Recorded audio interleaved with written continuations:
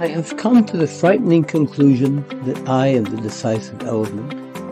It is my personal approach that creates the climate. It is my daily mood that makes the weather. Johann Wolfgang von Goethe. Take a deep breath. We are about to embark on our greatest journey. We walk the path to unleashing the power of our minds. In our last video, we talked about the importance of emptying your mind, allowing it to rejuvenate and rest.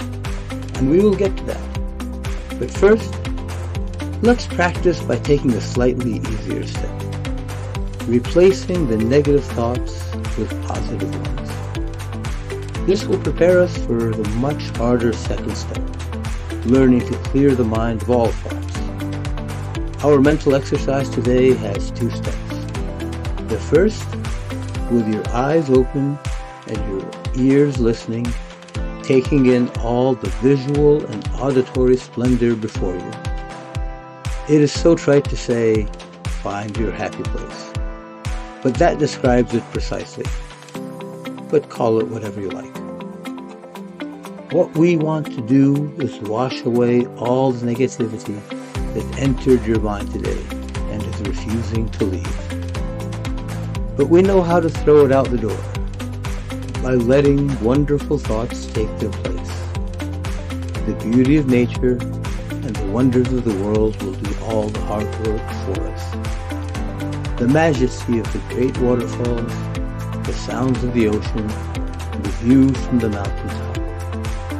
Let the grace of nature be the exorcist, ejecting from your mind the troubling thoughts of the day replacing an argument with your spouse or friend, an insult from your boss that you had no choice but to endure. These troubles seem so large, but they're not.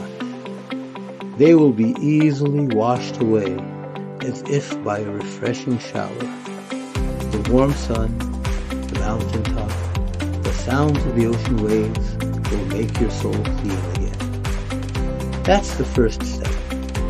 The second step, after watching this video, I want you to find the most comfortable and quiet place you can and replay in your head all the best thoughts you can remember. All the worst thoughts will be washed away and forgotten.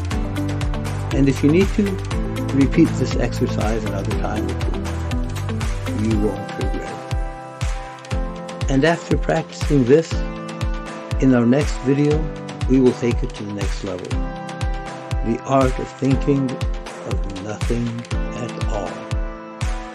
And with enough practice, and it will take quite a lot of practice, the quote at the beginning will make perfect sense. Your thoughts become your destiny. So choose your thoughts wisely. I hope you've enjoyed this time and will join me again. May peace and strength of mind be yours forever, my friends. Yours very truly, Ziad Sawi, MD.